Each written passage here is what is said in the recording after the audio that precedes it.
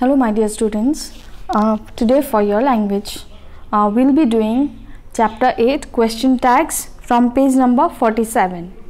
So before we proceed towards the chapter and the rules and the like format of how to uh, do different exercises based on these question tags what is the meaning of question question means like uh, anything that you ask okay and you are quite eager to know the answer so that is called a question. There are many words uh, through which we can understand yes this is a question. First and foremost usually words like how which when no? These words along with some uh, verb as well as the like uh, with the help of verb adjective adverb it forms different questions. And it always ends with a punctuation that is the question mark. Okay. Now uh, there are uh, two kinds of um, like questions. Okay which uh, we will be talking about in this chapter.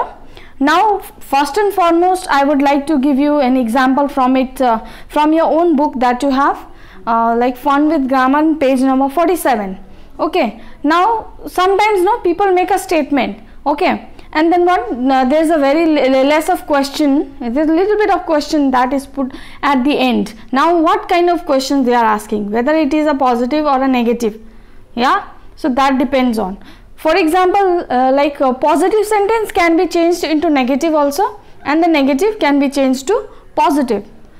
So uh, like uh, if i say miss desai is very busy.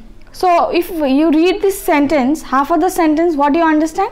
This is in a positive statement. No there is nothing no right? So miss desai is very busy comma isn't she? That means that isn't came into negative understood so this is what happens in uh, question tag there are two sentences which is merged together okay and it's always separated by a comma you know when there are two different sentences uh, like uh, either it uh, joins with the help of a conjunction or if we are not using conjunction is comma. So here this sentence is also joined uh, as the main noun is one only that is Miss Desai. Okay. So Miss Desai is very busy positive and then at the end we see negative that is isn't she. So isn't she is a negative. Okay. So now if I change the sentence into negative, that means I have to, it's less like active and passive where we change the uh, subject to object and object to subject, no? Similarly, positive will go to negative, negative will come to the positive starting. Now, Miss Desai is very busy, isn't she? Now, you are changing the sentence into a negative one. Okay, negative start you are giving.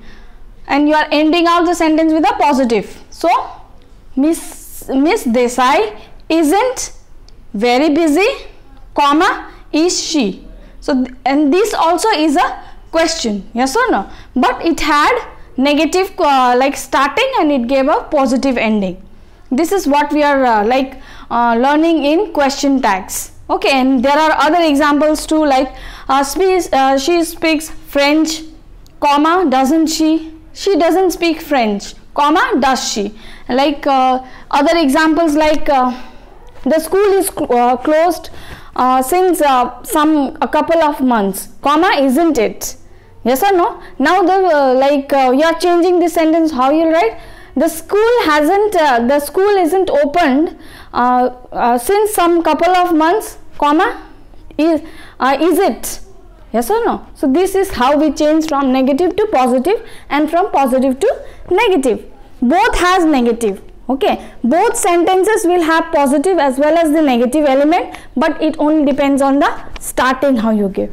So so i've already marked here you can see where uh, isn't is changed to uh, is it uh, at the end? And from negative starting giving positive and then from uh, positive starting it gave a negative ending okay? But you have to what what are the things that we have to make an understanding is first and foremost the tense always remains the same okay if you are giving a past tense then it remains past tense. If it is present it remains with present. You are not to change.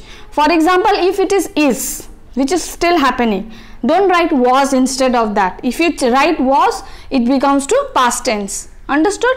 And also second thing comma is very important in question tag because that only denotes that you are changing from positive to negative or from negative to positive okay so this comma as well as the changing of our tense not to change the tense that is very very essential. And one more thing that uh, yeah uh, there are two types i said. First one is a positive statement followed by a negative question what we were talking about.